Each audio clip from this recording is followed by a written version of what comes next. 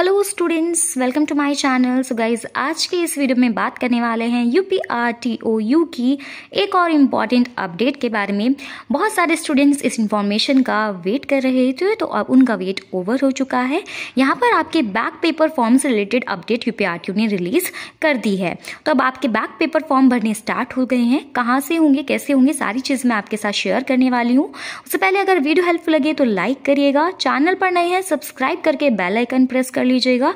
आप एक भी अपडेट मिस नहीं करेंगे यूपीआरटीओ की।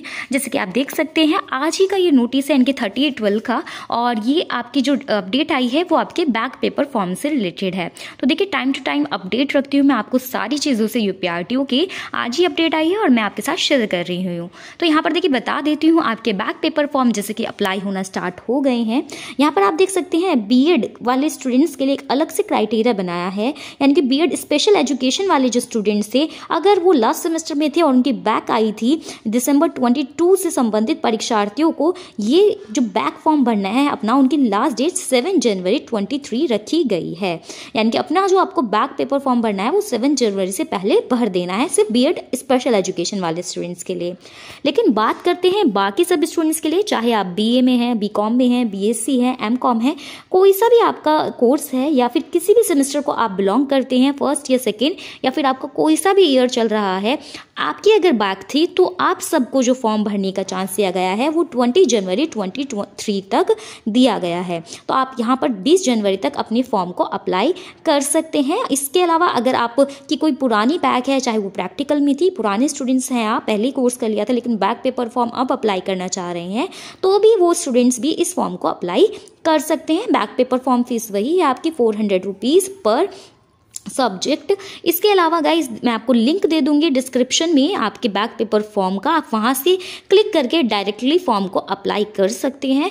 फॉर्म कैसे फिल करना है, इससे रिलेटेड वीडियो भी मैंने चैनल पर अपडेट करी हुई है। आप वो भी वो भी देख सकते हैं। आप खुद अपने मोबाइल फ़ोन से अपने बैक पेपर फॉर्म को अप्लाई कर सकते हैं। हालाँकि आपको ध्यान ये रखना है कि जो आपकी रिसिप्ट आपको एंड में रिसीव होगी, या फिर आप कह लीजिए जो फॉर्म आप फिल करेंगे बैक पेपर का, वो आपको अपने पास बिल्कुल संभाल कर रखना है। क्योंकि कई बार आपको उससे भी प्रॉब्लम आ जाती है कि आप बैक पेपर फॉर्म अप्लाई कर देते हैं एग्ज़ाम भी देते हैं, लेकिन रिज़ल्ट नहीं आ पाता तो फिर से यूनिवर्सिटी वाले आपको परेशान करते हैं कि आप बैक पेपर भरिए।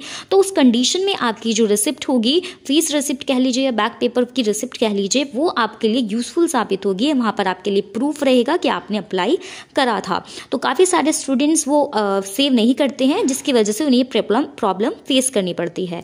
तो आपको, मैं आपको दिखा देती हूँ, आपको फिल क्या करना है बैक पेपर फॉर्म में? सो so गाइज़ जैसे ही आप जो लिंक पर क्लिक करेंगे, जो मैंने आपको डिस्क्रिप्शन में दिया है, वहाँ पर आपके सामने ये पेज ओपन हो जाएगा। इस तरीके से करके और यहाँ पर आप देख सकते हैं, आपको सबसे पहले अपना एनरोलमेंट नंबर फिल करना है और प्रोसीड पर क्लिक कर देना है। उसके अलावा जब आप फिल कर लेंगे तो यहाँ से चेक फॉर्म स्टेटस और रीप्रिंट फॉर्म पर आपको वो प्रिंट ले लेना है, जो मैं आपको कह रही थी। यहाँ पर जो नोटिस मैंने आपको बताया है, वो आप देख सकते हैं और यहाँ पर हेल्पलाइन नंबर भी आपको दिया गया है, हालाँकि वो वर्क करेगा या नहीं करेगा, वो तो टाइम पर ही पता लगेगा, क्योंकि मोस्ट ऑफ़ द टाइम ये नंबर्स वर्क नहीं करते हैं यूपीआरटीओ के खैर, आपको कोई प्रॉब्लम नहीं होगी, मैं डिस्क्रिप्शन में जो वीडियो फॉर्म कैसे भरना है आपको, उसका लिंक भी दे दूँगी। आप वहाँ से चेक करके उसके बाद अपना फॉर्म खुद अप्लाई कर लीजिएगा। सो गाइज़ ये थी इंपॉर्टेंट अपडेट आई होप आपके लिए हेल्पफुल रही होगी। रही है तो वीडियो को लाइक करिए। मिलते हैं नेक्स्ट वीडियो में। Bye bye